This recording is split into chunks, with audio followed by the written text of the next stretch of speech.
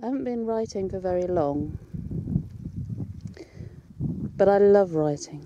I love the places that writing a book can take you to.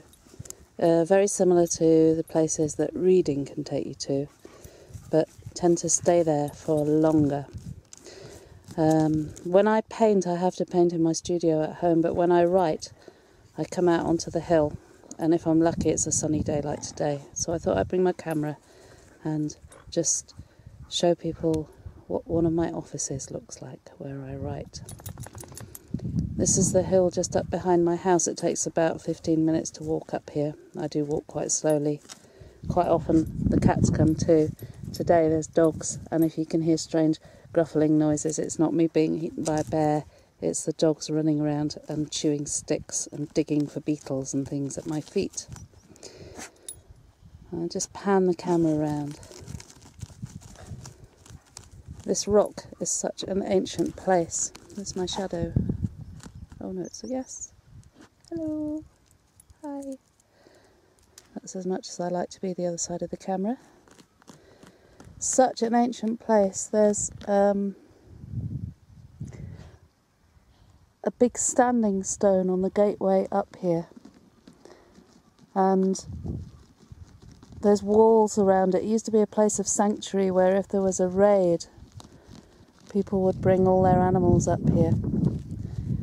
Um, easily defended because the sides of the rock are so steep and you have a view out right over the peninsula so you can see right down the coast and across to St David's as well. If I just take the camera that way, I think it's all bleached out by the sun really. I need to learn how to control the camera more. But it's a beautiful place to write. It changes all year round. People say that kisses are only in season when the gorse blooms, but fortunately the gorse is always in bloom. And just at the moment, it's just coming into its heavy scent so that the air smells like coconuts and the flowers are rich golden. I don't know what you can hear on this. I've tried to keep it into the shadow of the wind so that we don't get too much wind noise. It's a very, very still day, and soon the air up here is going to be thick with the sound of skylarks. There's little wrens hopping around in the bushes. You just catch a flash of brown and look round, there's a little wren, and they're all staking their claims for their territory, gathering up bits of the moss to make nests. And down in the cove, which is, if I just pan down, down there is where the seal breeding beach is. So in the autumn, about 15 seal pups at any time are on the beach down there. And panning back up a bit. The field system that you can see there is medieval, and this is where I found the first long story that I wrote ever. I used to walk here every day just around to the old village. You can just see there. There's a little lane, cart's width, width wide, and there's some ruined houses. When I first came here, the chimney of our, the biggest house, was still standing, but now it's fallen, it's been pushed over by time and wind and weather and livestock. But these houses were lived in up till oh, I think it was about 1900, there were still six people living there, all over the age of 60. And the water was drawn from a well. There's no road to it, there's only a path, there's no electricity, there's no water. Um, and there's still, just down, if you come down through the fields, you can still see the medieval strip fields that are just really, really narrow, where all the fields were divided up for different people there. And one day when I was walking and it was foggy, and I could hear the seals singing to their pups on the beach. It was like the stones started telling me a story, and I started to wonder about the people that lived there, and who they were, and what had happened to them. And one of the things I discovered when researching into it was that the village became a Quaker village, Um, the Quaker people moved over this side of the hill so that they weren't persecuted by the Christian people on the other side of the hill. And they all wanted to go across to America. Um, and they renamed the road. So the road that led out to their village, the cart track, became the road to Pennsylvania. And the big house became New York Cottage. So I started wondering, you know, how how these people had lived, what had happened. They were all fisher folk, and they, their livelihood was um, as almost as slaves, really. Um, I think the the history of the British working class is well hidden, and um, there was a time when people lived in such a way that it was so harsh. So these cottages weren't owned by the people that lived in them, they were owned by the people that lived in the farms on the other side. And in order to uh, be allowed to live in them, they had to give so many days' labour to the farmers on the other side. And this was not just the men, this was the women and it was the children. So you had three four year old children picking stones out of fields picking vegetables in the harshest conditions when the frost would burn their fingers as they picked. Um, so you can see why the people may have wanted to leave and go across to America to a place where they could own their own houses, farm their own land, and hopefully live better lives. So, what I'm going to do is I'm going to put the camera away and walk the path down there and go and have a closer look at the ruins before they're gone.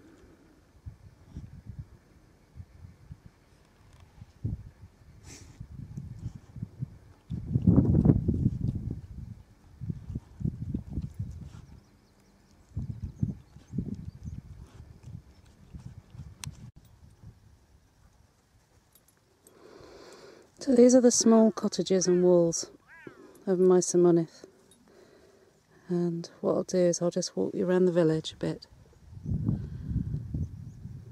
and hopefully you'll get some of the sounds that I can hear. Excuse me while I cough. this tree, this great hawthorn tree, will soon be covered in white blossom like a wave that washes over what's left of the house and must have been planted here by birds. And you can see what remains of the chimney and the gable. When I first moved here 20 years ago, you could stand underneath the lintel of the chimney and look up, but now it's fallen. It's given way to time, heavy water, wind, weather, and the pushing of cows. The village is called Maes Mynydd, and I hope my Welsh friends will forgive me my pronunciation. I've never been very good with Welsh words. And I know my friend Rebecca would hit me with a Welsh love spoon if she heard me saying pronunciation like that. And this was the biggest cottage, which was later called New York Cottage. This was the Quaker meeting house, so I'm told. And when I first moved here 20 years ago, the doorway was much clearer defined, the walls were higher, and you could stand beneath the lintel of the chimney, which looked like a, an old piece of ship's timber, and you could look up the chimney. Just going into the house now. They would never have had a carpet, I shouldn't think. But now what they have as a carpet is nettles and weeds and lichen covered grass one chimney place down this end. And again, when I first moved here, this was solid. You couldn't see through at all. You could just see the, the shape with plaster. And all this wall was solid and higher. And you can see there's a tiny little window up there that would have been like a croglofft where people slept. So they would bring the animals into the house at one time. And the animals would be kept downstairs and they'd sleep upstairs and go around to here. You've still got the window that's there that looks out onto the hawthorn. And this was the old chimney that's now fallen. And on the side of the chimney there's a cupboard to keep the dry goods fresh.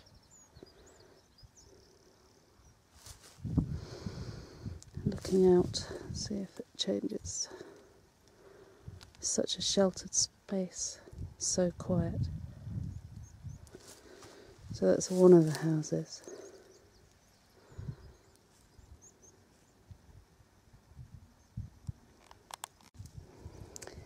This space here, this circle of dark, this was the village well. And then there's some little walls that mark where animal pens stood. And down there, there's a couple more ruins of houses. it's hard to see. Some of the stone, which was very well worked, stonemason stone, was taken um, to be used in building on the other side of the hill and some of it is still left. I'll go down and have a look at the other two houses.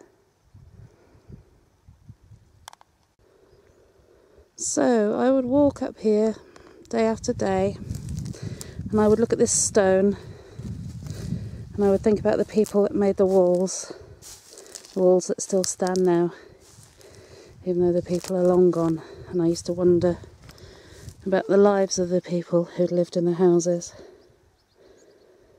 and I used to listen to the buzzards calling overhead, and I used to listen to the ravens. Until one day I started asking more questions, and then eventually a story wove itself in my mind.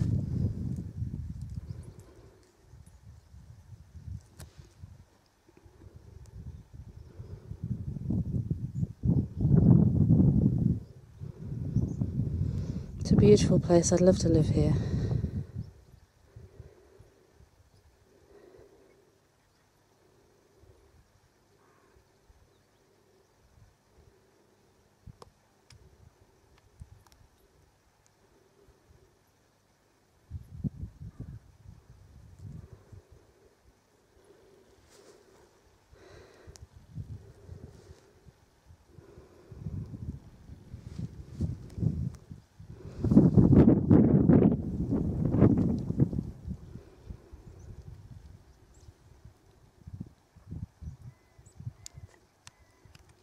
Okay.